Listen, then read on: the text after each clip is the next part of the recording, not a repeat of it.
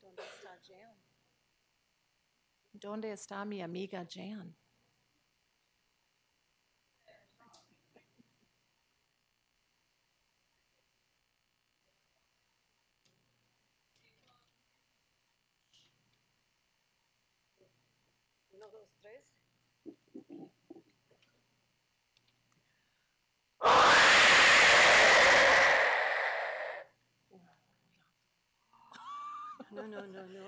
Jaguar.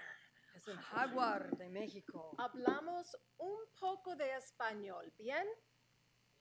Y inglés, mucho inglés, pero un poco de español, ¿ok? Respira.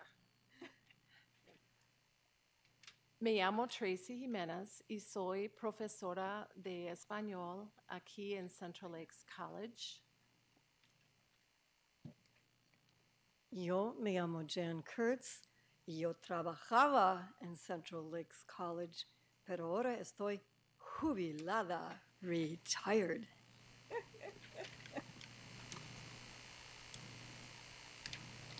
Yo también estoy jubilada. Me llamo Patricia y fui una estudiante de Jan. Soy Allison, soy estudiante aquí en CLC.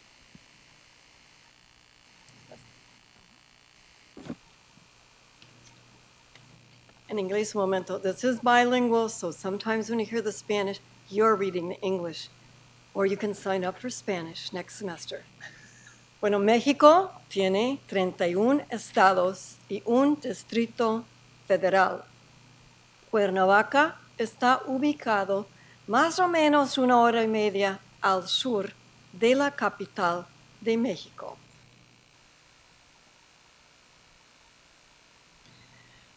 Cuernavaca, con una población de 364.778, es la capital del estado de Morelos. ¿Bien?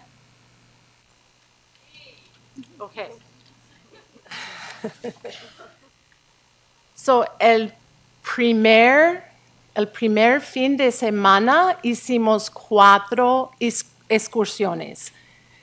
Teotihuacán, Teotihuacán, la Basílica de Guadalupe, la casa de Frida Kahlo, la famosa artista, y ¿qué hicimos por la tarde? Um, Xochimilco. So those are some of the excursions we went on our first weekend. And on our school days, we would um, attend Spanish classes at one of the local universities. And afterwards, we would go on more excursions. Esta es la casa de Rosita. The first time I went to Cuernavaca was, you do the math, 1985. And this was the first house that I ever stayed at and repeatedly stayed with Rosita on uh, other trips, viajes that I took. The first time was with a group of high school students from Brainerd High School. The reason I like to see this picture or put it in front of you is we have many stereotypes about what Mexican houses look like or what Mexican people do, how they dress. And I just want to assure you that I always live much better in the houses in Mexico than in my casa en El Bosque, my little house in the woods. Not to think, though, however, that people are not also still living in poverty. Outside of Cuernavaca, there is a dump city where people still make their living by going through the trash. In Mexico, one of the traditions is for a family to build out around their terreno. So in 1985, there was a small house here, but as the family grew and as the money was earned, they added a little place for the mother in laws. And where Tracey and Lois, pictured here, and I stayed was another addition of an apartment that, okay, high school kids, go home and ask for this. When they became high school, these guys got their own apartment on one corner of the lot, and it has now been turned into student housing. And Pat lived in this house. Would you say a few words? Yeah, this is the house of Terry Campos. She was my host mother, and um, this is on a condominium pros- uh, property. So the green space that you see is shared uh, by several houses, and there's a swimming pool. Um, this white house that you see is Terry's, and right next to it is another white house. And behind the greenage is a patio. It was very nice. We did not have any servants. ¿Y qué hace Terry? Ah, Terry uh, fue mi maestra. She was my instructor. Or not my instructor, but she was an instructor at the school. And to earn extra money, she also hosted students at her house. Teachers don't make a lot of money. Here is the school. It was called the Spanish Language Institute, and Allison's going to tell us a little bit about her day because she was a student with what, less than a year of Spanish? Just about a year. Okay, take it away. So, um, I, when I went on this trip to Mexico, I didn't know much Spanish. Um, I wasn't quite so good at speaking Spanish, but I could understand decently well. Um, so I was very, very nervous for our classes. But on our first day, we took a placement test. It was just like a two, three page packet with questions, and you just did your best to fill it out. Based on how well you did on this test, you were placed in classes with fellow students, and the classes were very small. So um, that was the courtyard. That's where we took our test. That's where we spent a lot of our free time in between our classes. So um, my class was very small. I was in a, class with one teacher and two other students. Um, so our class had four people in it. It was a very small room. So it made it a little bit easier for me to learn Spanish. The teacher was very friendly. My teacher's name was Carolina. She didn't speak much English, and I didn't speak much Spanish, so it was kind of hard for us to communicate. But she was so friendly. Any questions I had, she answered. She was very patient with me and my minimal understanding of Spanish. One quick word on the Spanish. if any of you are wanting to go to this school, they start classes every Monday, and you can go for a week, you can go for six weeks, you can go for a semester, and any level, because we have Allison here, and I'm a retired Spanish teacher, and they still had plenty for me to learn in my class. In this particular picture, we see a couple of people, Marcario and his wife, and they're vendadores, Guatemaltecos. They come every Monday, and they have for years to sell their artisan work. And even Marcario here is a master embroiderer. They are embroidering here uh, the uh, pillowcases with colibris, little hummingbirds, and I want you to stay tuned because hummingbirds are incredibly important in the culture of Mexico. And Lois here is sporting a handmade bag that they also crafted. A quick aside these people are formerly Guatemalan refugees. In our present situation, we have a lot of people coming to our border, and I invite you to look into the history of 1980s and the 1990s when people were fleeing Central America very often due, I'm going to say mostly due, to the United States foreign policy. But Marcario and his wife made it only this far north to Cuernavaca, and they've been living there and selling their goods and making a living there ever since.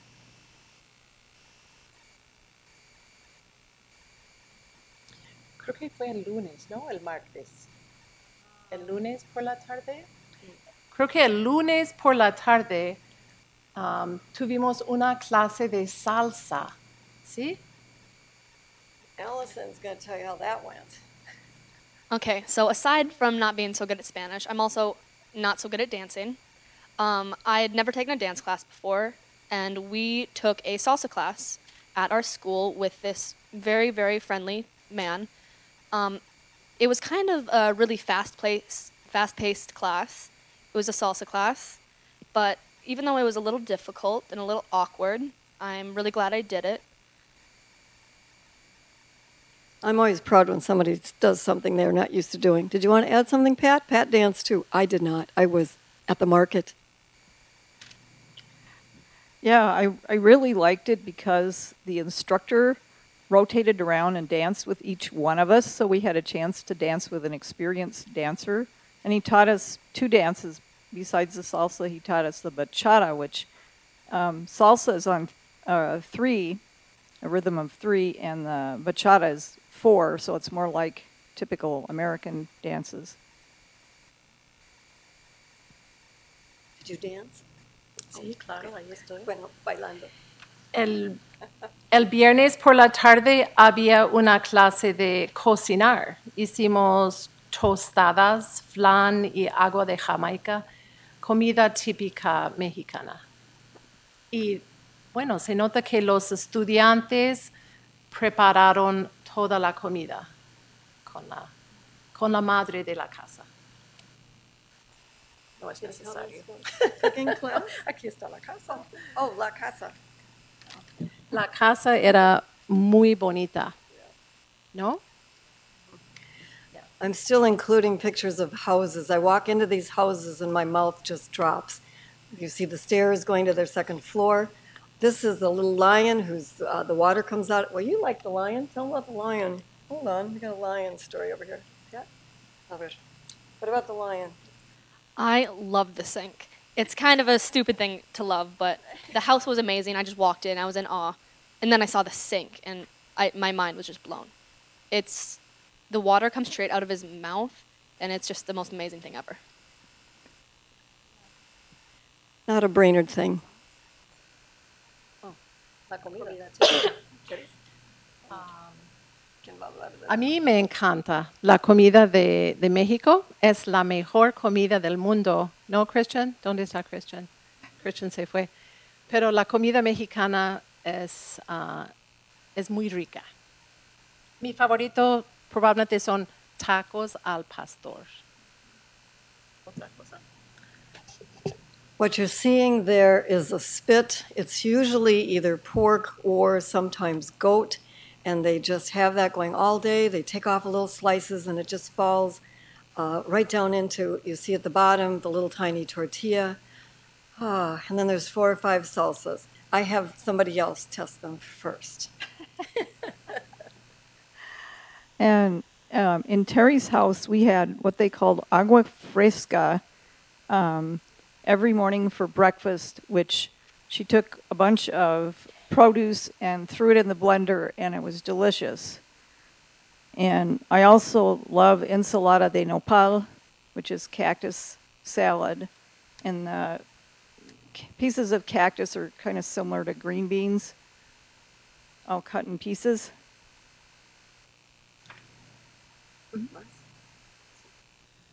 So el primer, um, el primer día fuimos a Teotihuacán, a la pirámide. Voy a avanzarlo. Si quiere hablar un poco y después enseñamos el video. I put some of these data things up here so that you can see them. Um, I, yeah, Teotihuacan. This is one of the things with travel that amazes me. I would like you to consider putting together the timeline that we learn in our schools of Europe and the timeline of the Americas, which for some reason we don't learn in this country. Because way before a lot of marvelous things finally happened in Europe, these things were going on in the Americas.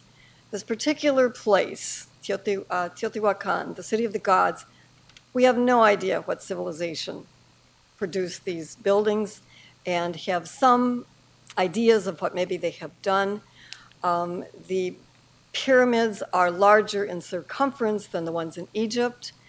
The Mexica, which gives us the name Mexico, may have done this, but it was several thousand years, almost 1,500 years or more, between this and when the Aztecs actually showed up in the valley in the 1300s. So, and for those of you that like to kind of go off to the other far end, check National Geographic and PBS for the fact that maybe the aliens built it. Okay.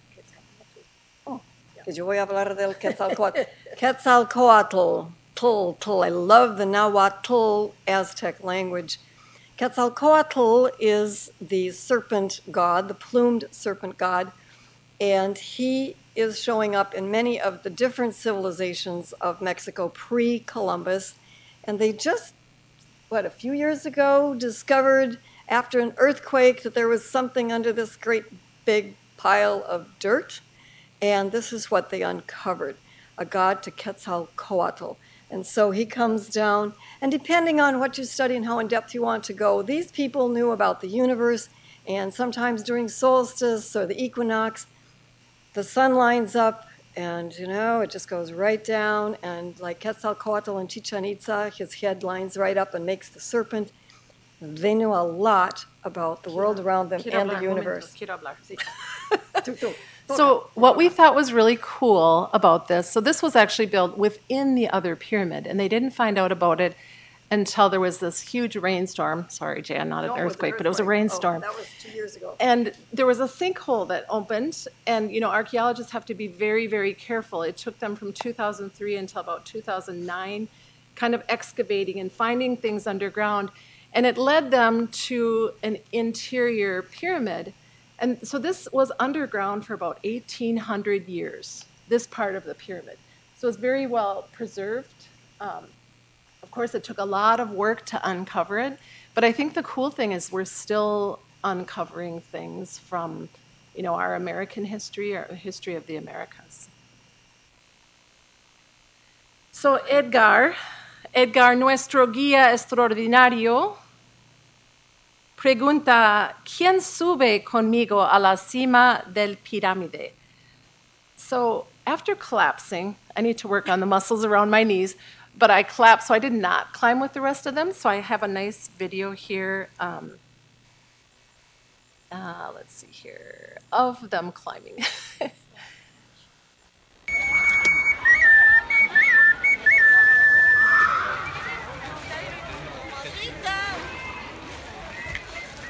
you can see the immense size and the jaguars. Yeah, the jaguar. we were warned that they weren't real jaguars, but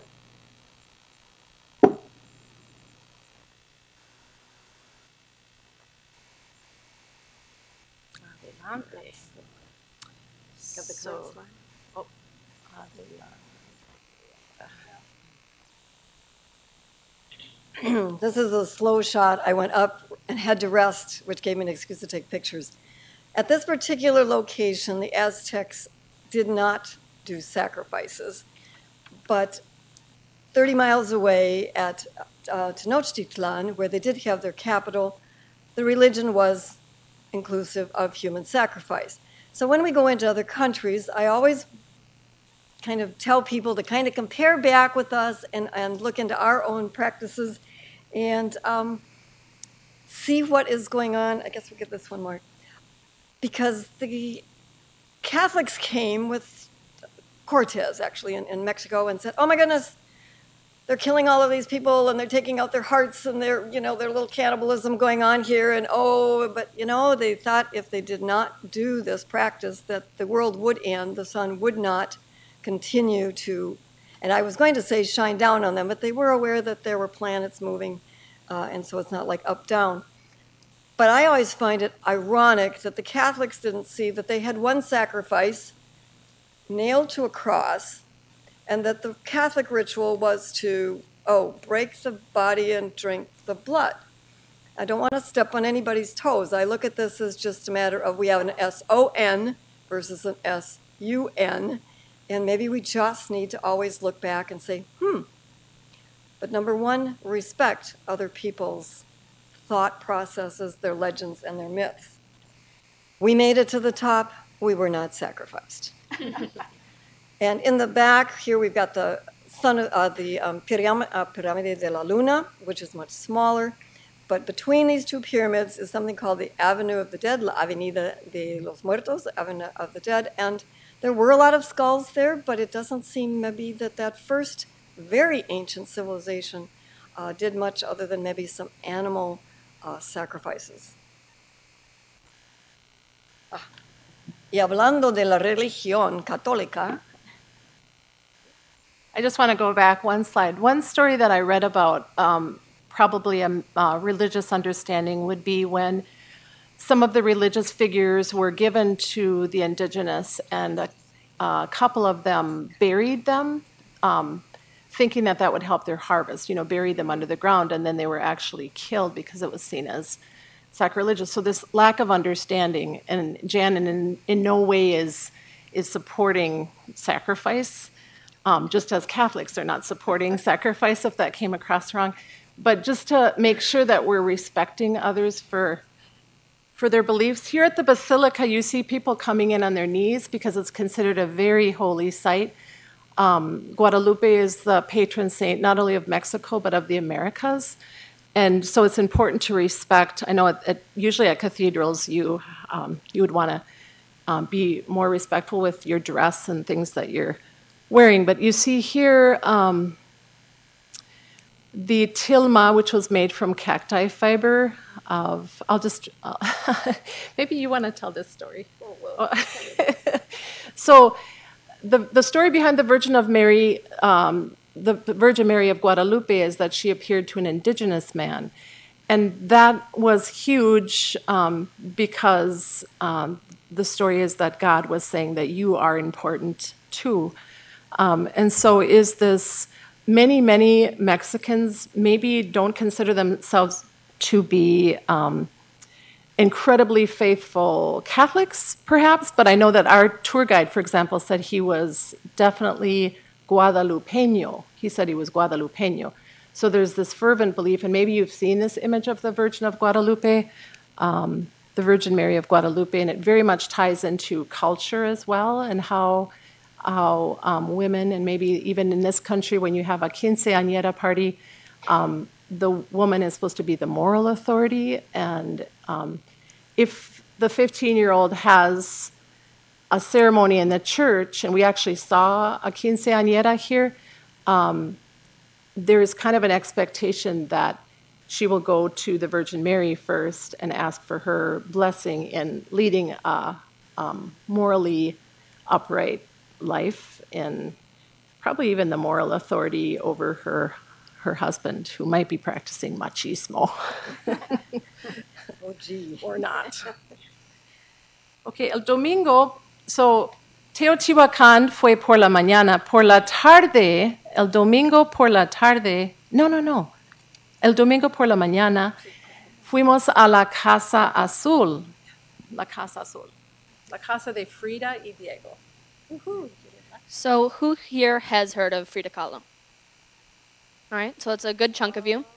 Um, what I thought was interesting actually is that Frida Kahlo apparently is a little bit more well known here in North America than in South America. And um, for those of you that don't know, Frida Kahlo was um, a painter in the 20th century. Um, she was married to another painter named Diego Rivera, also very well known.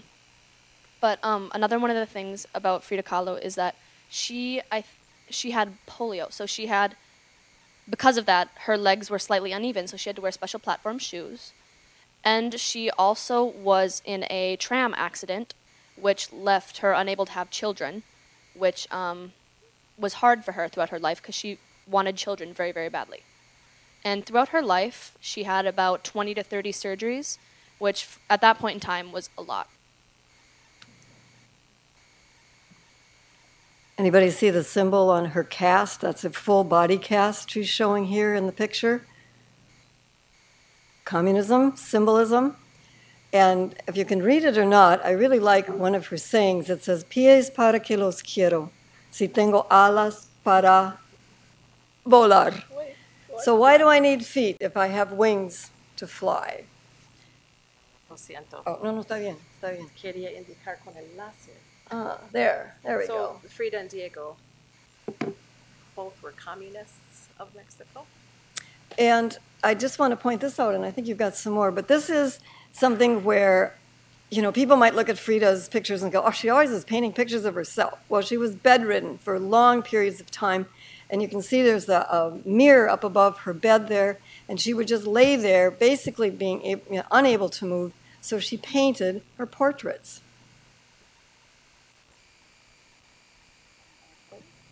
¿Algo más? ¿Algo más? ¿Algo más?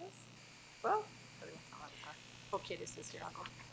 just very briefly, that is uh, what Diego wore to the, uh, the, the long pants with his two hats. But he asked, out of maybe some machismo or not, for Frida to please always dress in native Mexican clothing, which actually did uh, work very well for her. So there was a part of the museum showing the very many different costumes she had representing different parts of Mexico. By the way, there's a lovely movie called Frida. Please see it. It's the music you were listening to when you came in was the soundtrack. Oh, so, el domingo por la tarde nos subimos en una lancha de Xochimilco y Pat va a hablar de Xochimilco. The name Xochimilco comes from Nahuatl, that's the indigenous people, and means flower field. This, is re- this refers to the flowers and other crops that are still grown there on the chinampas. Um, chinampas are made by building rafts out of vegetation, and then they dredge out the the muck from the bottom of the lake and put them on top of the rafts and use that to grow things. And that system was originated by a Xochimilca leader named Acatonallo. I hope that's spelled pronounced right or more or less. uh, Xochimilco is best known for its can- canals, which are left from what was an extensive lake and canal system that connected most of the settlements of the Valley of Mexico. And uh, I was interested in finding out that uh, after the flood of 1609, the Spanish started draining the canal and the water. So it's there's not much left of it except in Xochimilco. And uh, I also wanted to mention that our guide Edgar, who you already saw, gave each of us a flower to take on the trajinera, which is the boat. And besides tourists, the boats carry musicians, beverages, craft items, and other things, um, which you can buy. And the Mexican families gather here on Sundays for family celebrations, and we saw some parties there when we were there. After the boat ride, um, well, actually, I bought these earrings. I bought these earrings on the boat, and I bought the pendant to go with them at the artisan market nearby.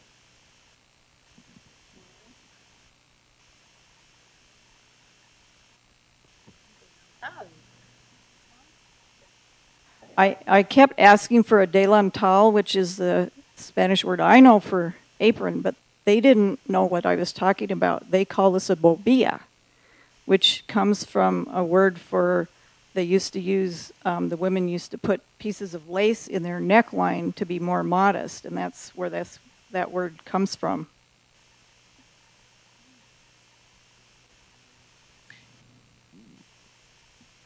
El chofer del, de la lancha tiene un palo muy largo, ¿no? Tiene un palo muy largo. Les enseño un video de Xochimilco.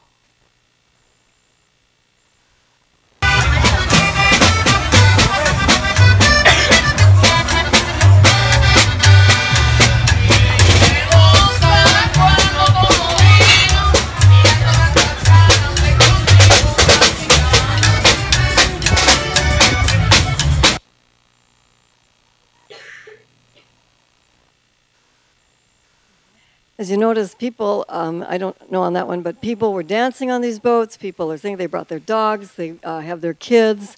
Um, but as Pat mentioned, Sunday is the day to go out and just party on your boat. And when we got off the boats, we also saw in the plaza Los Voladores. And Tracey's going to say a little bit about Los Voladores. I'm going to say something. No. This is not a salsa dance. This is one of the dances that is indigenous in origin, and these people are very practiced, and they have to jump off just at the right time. And they are circling around, and I believe the number of circles are symbolic of, I don't know if it's the number of weeks, years, but everything is symbolic about their costumes about the, uh, like I say, the, the jumping off, and this will go all the way to the bottom, and at the very last minute, they flip themselves around and land on their feet.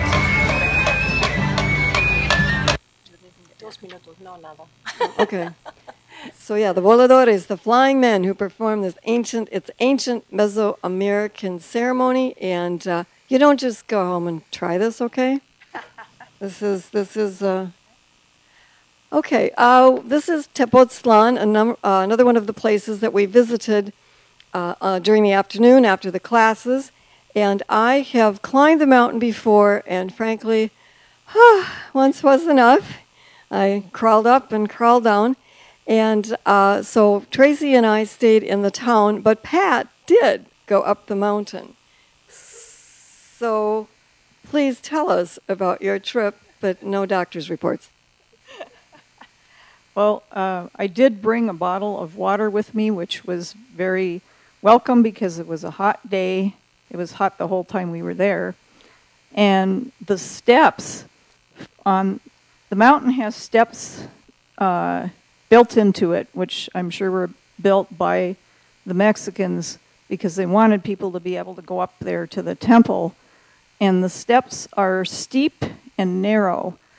So it was a challenge to go up, and toward the top, my knees started to give out. So going down was very painful. But um, I did make it up to the pyramid, which you can you can see um, most of the people who made it to the top are sitting at the end edge of the pyramid with their knees, their feet over the edge. I did not get that close to the edge. I would just like to point out that this is the legendary birthplace of Quetzalcoatl, who you heard about earlier when we were in Teotihuacan. So, había mucha. No, yo no subí la montaña. ¿Cómo se dice loser? En, en Profe Rewitzer, ¿cómo se dice loser en español? Perdedora. No tengo la fuerza. Pero había mucha arte en, en el pueblo, en la ciudad. Había murales de semillas. ¿Cómo se dice semilla en inglés? Semilla Arte de semillas. Seeds, muy bien. corn palace. Sí. Y aquí de pintura, un mural de, de pintura. Um, a la izquierda, perdón, voy a, voy a volver. So that would be seeds. Yep. Um, a paint mural on the side of a building. Y en español primero. Oh, primero okay. El búho a la izquierda, el búho, y el colibrí a la derecha. ¿Bien? Gary, don't walk out yet. this was for him. Oh, well. One of the messages I like to give uh, about traveling to other countries is how much do you know before you get there, and what do you know of symbolism? And remember, I said I would tell you about the hummingbird later. Well, you can either go to a country and just walk by a whole lot of stuff and say, wow, these are really nice colors or, well, that's a good artist. But the buo, the owl, is also an iconic symbol for many of the shamans, the curing, healing people.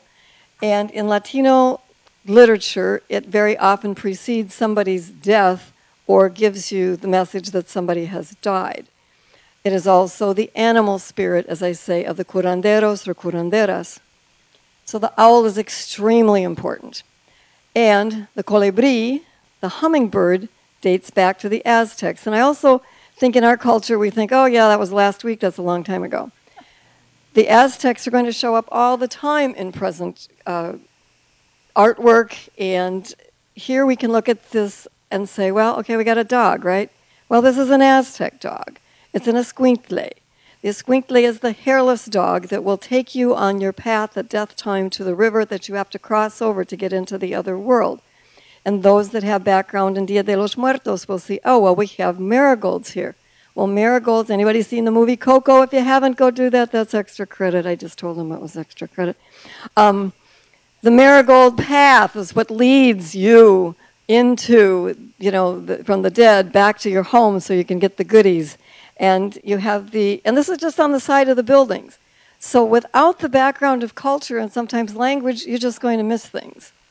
Including, you can go into the ice cream shop. This is maybe the Mexican Baskin Robbins situation or something. I don't know if you've been in a, ice cream shop lately with a crucifix or not, but on the other wall, next to a list of, I don't know, 40 or 50 different flavors, only three of which we recognized chocolate and vanilla and strawberry. We have a picture. Oh boy, well, this woman looks like she's kind of in bad shape. So here's my really quick, quick legend. If you know the legend about Ixtaccíhuatl and Popocatépetl, you will know that Ixtaccíhuatl and Popocatépetl were in love. Popocatépetl was sent off to a war situation. Another man was also in love with Ixtaccíhuatl. This is really a telenovela, isn't it? Anyway, uh, the other man came rushing back and told Ixtaccíhuatl's dad, Popocatépetl has died. He's not coming back. I want this woman. And she says, I don't think so. She runs into the jungle. She dies of a broken heart. Popocatépetl comes back, very much alive. Where's Ixti? Well, she went that away. He follows. He goes out. He finds his dead love. He kneels beside her and also dies of a broken heart. Now notice behind there are mountains. The mountains today are called Ixtaccíhuatl and Popocatépetl because there is a mountain that looks like a woman who is lying down, and there is a warrior who is standing, kneeling, I guess so you've got the knee, kneeling, and he to this day, an active volcano, once in a while puts out a big poof. He's still crying over his lost love. And you thought it was just a picture. en Tepoztlán había un mercado muy grande y había mucha comida, mucha comida y mucha artesanía. Um, y Jan, ¿vas a hablar de la comida prehispánica? Another thing that I wanted to point out with these pictures was again the connection between the pre Hispanic and today. Much of the food that is being eaten there is also well, it comes from the Aztecs and even before that. Um, so you see seeds here. You are going to see, well, we ate some grasshoppers. How was that? they were pretty dry. I mean, grasshoppers weren't bad, but our guide had an extra batch of spicy grasshoppers for me, which was very traumatizing. Oh, she's very into dogs and spicy food. I forgot. We kept trying to get her away from dogs. but Vamos a hacer esto. En inglés, perdón, en español y en inglés. So, en el mercado había much, um, sí, muchas aguas frescas. That is all of the big, uh, beautiful uh, juice that is up in the upper left-hand corner there. Y muchos dulces, muchos dulces um, de coco, de maíz, de piña. And also seeds. You'll notice that, okay, the sweets, she just talked about the sweets, and there's a lot of coconut, and there's pineapple, and um, lots of seeds. curan, curandería. So aquí hay medicina o cosas que usan las personas para curar, como los curanderos. My favorite part. This is where the shamans, shamanesses, and the grandmas go to get their teas and their dried herbs uh, that are all used for medic- uh, medicinal purposes. Alebrije. So, esos son las nahuas o alebrije son los espíritus, um, son como juguetes de madera, pero representan los nahuas. Again, back to the movie Coco. If you saw the alebrijes, these are the animal spirits that are representative of the different people. And there are several families in Mexico that have made these, and they've become extremely popular for tourism. Okay, el jueves por la tarde. ¿Cuándo? El jueves por la tarde. Uh oh, we're checking on the Spanish students here. El jueves por la tarde. En inglés, por favor. Muy bien. One of the places that I uh, always recommend to go, and we did go this af- the jueves por la tarde, is not an orphanage but a big children's home. The reason they do not call themselves an orphanage, Los Pequeños Hermanos, is because they do not allow adoption. And I thought about this, and that's usually a big question, but I just want you to imagine for a moment if you lived in a situation where at any moment, okay, she's gone, we found a new home for her, bye bye, Allison, no longer my sister. Pat is going, oh, what's happening to the family, etc. I hadn't thought about how traumatic that would be, that orphans every day live under the p- possibility of being either adopted or of losing one of their siblings. So, this is a story I invite you to look into. Brainerd has an amazing contact. For over 25 years, Joe DeRozier and Phyllis DeRozier held festivals here, raising money, sometimes $10,000, in a one day festival to send to this particular place. Minnesota has an extremely close contact. This is, in fact, we're standing in front of the building um, purchased by Minnesota donations. They have their own school, they raise their own food. Uh, the little kids have to sweep, and the big kids babysit the little kids. And when they're 18 years of age, they have to give one year of service back to this home um, because they have the opportunity as well to go off to college. It's, I think, an incredible system. And let's see, you went? Yeah, it's very impressive, this um, home here. Uh, we saw several children while we were there. They all came up and smiled and talked to our guide, and they seemed very happy and uh, busy. You can talk to Sue back there. She's been there. Um, the neat thing that I like is that they are now dividing them into families um, with older students and younger. So after your classes, you would kind of go back to your family. Also, they have encouraged their students to go on to university. So they have a home in Monterrey where the students can go to college, and so it's it's like a family that would support you through your post-secondary education, um, and, but also allow you some independence. Guess who cleans the fish? Chicas or chicos? Chicas, because if you let the little boys cut into the fish, there's nothing left of them when they get done with their knives. Amigos y familia, este es mi álbum más o menos de mi familia. I mentioned that my first trip was in 1985, and I cannot express enough gratitude to people who have been my friends over all of these years.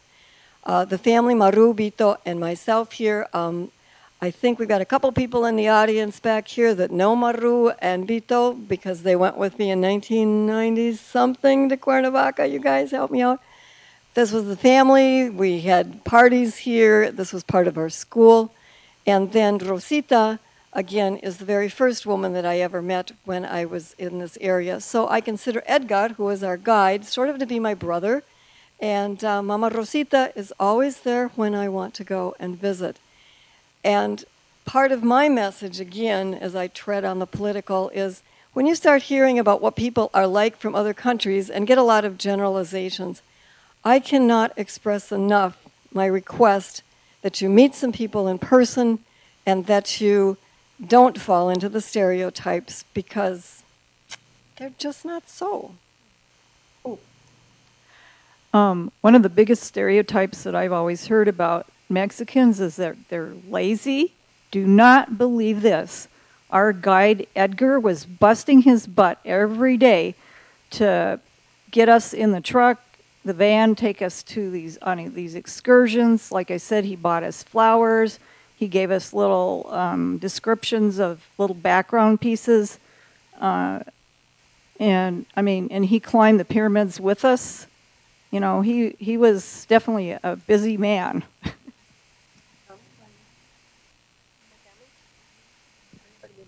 Um, so I stayed with, I was the youngest person to go on the trip. So I was housed with another girl who was my age or a year older, I forget, and a girl that was a couple years older. Um, n- none of us had like an extreme understanding of English, and our host mother, Rosita, who was amazing, did not speak much English. But she was one of the most friendly people I met while I was there. and she had a dog, which was a big plus. She was great. Her name was Hachi. She was great. De Rosita, porque Rosita era mi madre también. Tengo el mismo blusón, ¿no? ¿Se nota en la foto? Rosita, I don't know if you can see from the picture, but see that little smirk she's got? She had an amazing sense of humor, just really dry humor. Um, just a lovely. Um, I actually sent her a copy of some literature from Gabriel Garcia Marquez because we had a, she gave us our keys on a little uh, bell. And there's a story written by Gabriel Garcia Marquez that says, The foreigners are coming, let's put bells around their necks. And so that's what Jan and Lois and I, we were the foreigners and we had our little bells. And so she had never heard of that story. And so I sent her a copy, but I, hopefully she's reading it and, and laughing as she's. And another word on Rosita is just that even at mealtime and so forth, habla español, no inglés. And she's talking to, you know, a couple of teachers here. My friend Lois has known Spanish for a long time too, but uh, she's Anya, no inglés. Well, you can read English. I just wanted a copy, and maybe you have a couple uh, of um, comments on this. The reflections that I have put down here are from some of the people that traveled with us that cannot be here today because we're a very small part of the group. But the advice is always pack light. If you cannot carry it yourself, then throw something out until you can lift it. Um, Pat has already mentioned drinking water. You have to, when you go in another country, drink a lot of water. Um, don't get sick and under the sun, and make sure it's bottled. My own personal thing: take an open mind. We do have a lot of stereotypes, and if you go expecting a certain thing, well, that's what you're going to see. You know, if you're going to see the cracks on the sidewalk, that's what you're going to see. Watch out for them, but you know, smile. Try that this afternoon when you go out, even in grocery shopping. Oh my gosh, Smile at somebody at the cash register, see what happens. Embrace the culture. You know, please don't run right out and look for a McDonald's when you go to another country. If you can help it, don't run and stay in a Holiday Inn. I think one of the big things about this is we stayed with family, we got to meet people, and uh, we were in the taxis, we were walking around in you know the main areas. Take a siesta, what I mean about gestures are a couple things. I think it's really neat when you start learning gestures, not just the language, because if someone's going like this, it means look, it means ojo, pay attention, pay attention. And if you are walking in the market and you're bargaining and you keep trying to get at a lower, lower price, and somebody next to you is doing like this, they're calling you cheap. And then there are those gestures that might mean something in this country and might mean something totally different in another. So please check before you make that kind of a faux pas. And yes, I guess after 45 minutes we know each other well enough to talk about the bathroom. Um, toilet paper goes in the little receptacle alongside where, you know, we don't want to plug up the septic system. And I found a sign in one of the bathrooms at a, one of the um, gas stations that said, Un baño limpio habla bien de la gente que lo usa. A clean bathroom speaks well of a person who uses it. Well, I think that goes a lot further. I think un país, un mundo limpio, a clean world, a clean country, habla bien de la gente que lo usa o donde vive. I really think clean up our world. Oh gosh, there's all things. And save your pesos for potties. The one thing you didn't mention, Edgar was constantly inviting us to go to the bathroom and putting pesos in our hands. So have a peso, have a potty. So we're in just a moment. We're going to take questions. I know some of you have to leave. And are you going to the restaurant? Van al restaurante? Que bien. Um, along with Jan's note of um, friendship, I think this CLC Global Studies um, class allows you to learn some of these. Before we leave, we talk about how important it is to pack light. We talk about the importance of you know, making sure your host family has some sort of a system for water, you know, whether it's boiling it and then putting it in their ceramic. Um, how do you stay healthy? You know, getting rest when you can get rest. Those are all important things. And then um, those who choose to participate in the trip then um, have that opportunity to be under the auspices of a college instructor rather than on your own so that ho- hopefully one day you'll be able to go on your own. But it's always nice to be able to go with a group initially so you learn some of these things ahead of time. So I think we'll take some questions. We'll try to repeat your questions um, so that they show up for those who are watching the recording or watching at home. And feel free to ask any of us. Do you have some questions about this trip down to Mexico in March? Yeah. So Sue is wondering when we have another organized trip. We actually have a band trip next June going to the Mediterranean. And for as far as Spanish, we're looking at the following year, so um, two years out. Gracias por venir. Adios. Tell them to read this one on their way out. Adios. One more quote. So, are there other questions? Yep, yep. Yes, yes. Yes.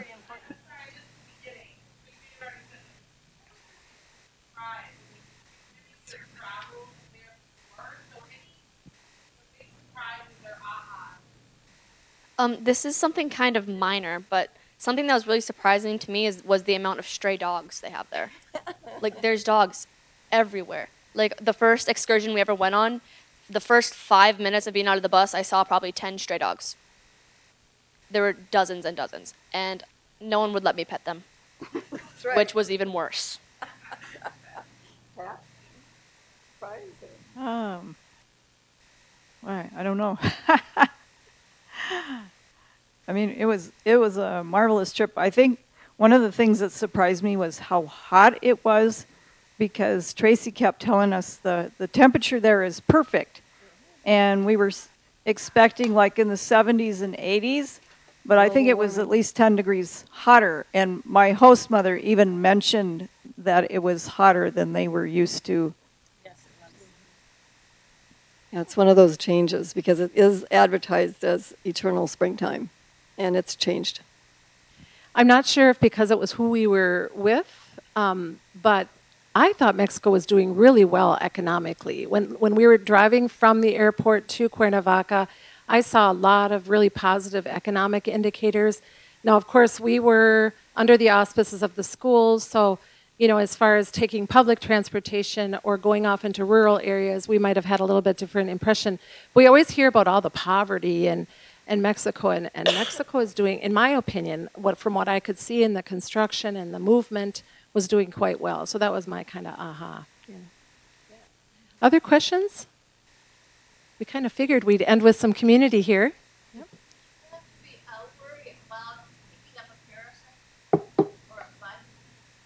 So the question was whether or not we were worried about picking up a parasite or a bug. And um, I personally was not, but I've traveled quite a bit. Um, we actually had a student who was very sick on the trip, but she was sick when we left. And so we had the experience of going to the doctor via the pharmacy. So in Mexico, you can go to the pharmacy and actually see a doctor there. Unfortunately, the pharmacy that was right around the corner from our house was closed, so we had to hop on a bus, which was an experience, right?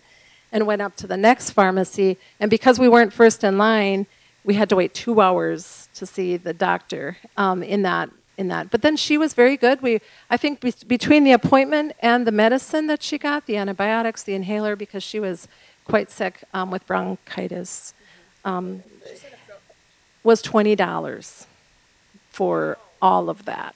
So that was um, a pleasant surprise. But as far as parasites, you know, I guess whenever you're traveling.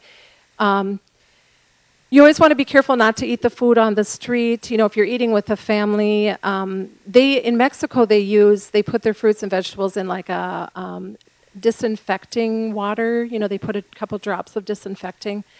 Um, we could probably learn a, a thing or two from that because it wouldn't hurt us to do that as well to either remove the pesticides or remove the the um, the bugs. You know that are it's kind of the, the opposite thing. Um, but no, we never, no one on the trip got sick. And most families, like I said, have a system of purification and restaurants. But when you get off the beaten track, yes, you would definitely want to get bottled water.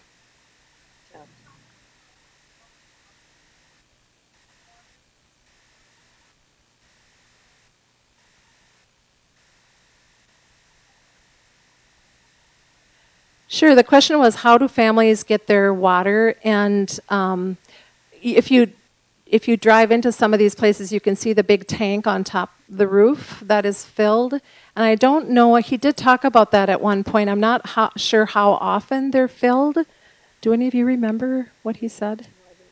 But is that what you're referring to? The filling of the some the big tanks on top the home, Some of it's rainwater so, too. and some of it's rainwater, right?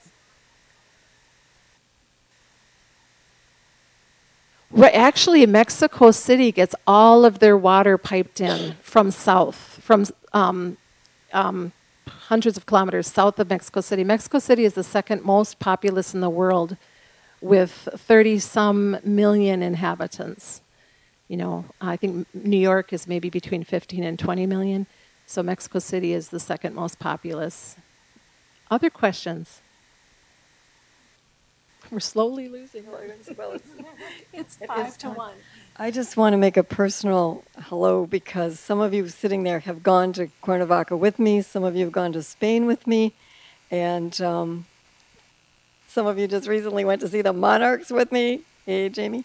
So thank you for your support over the years of Spanish. And, uh, and now that I've got your ear and I need to meet you, I for five years thought I would come and meet you.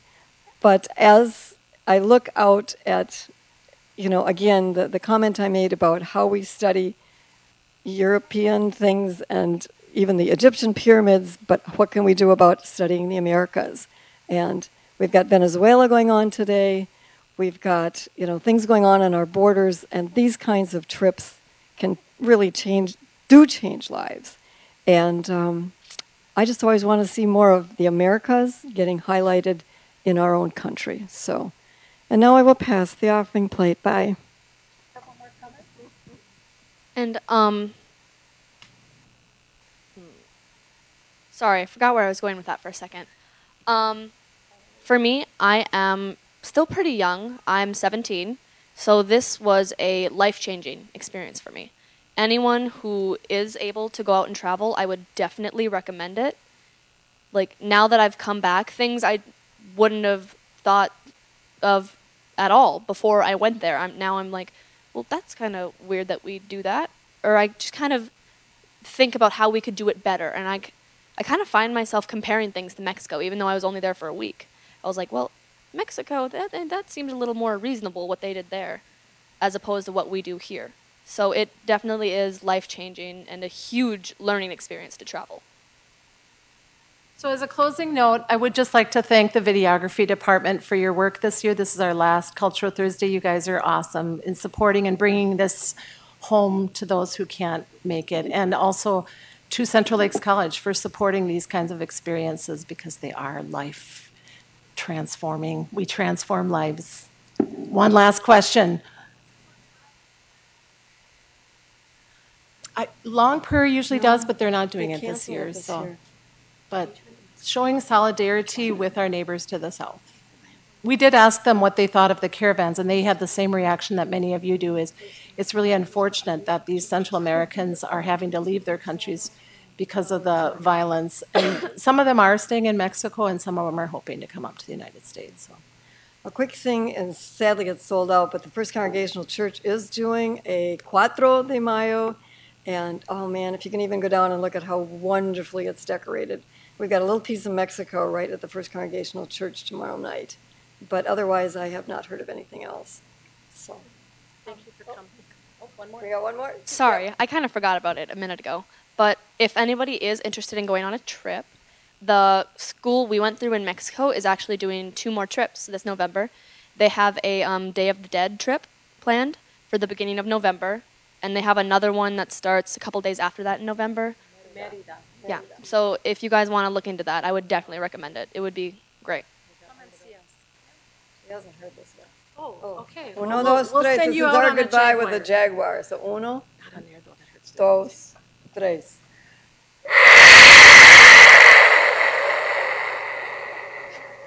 Gracias.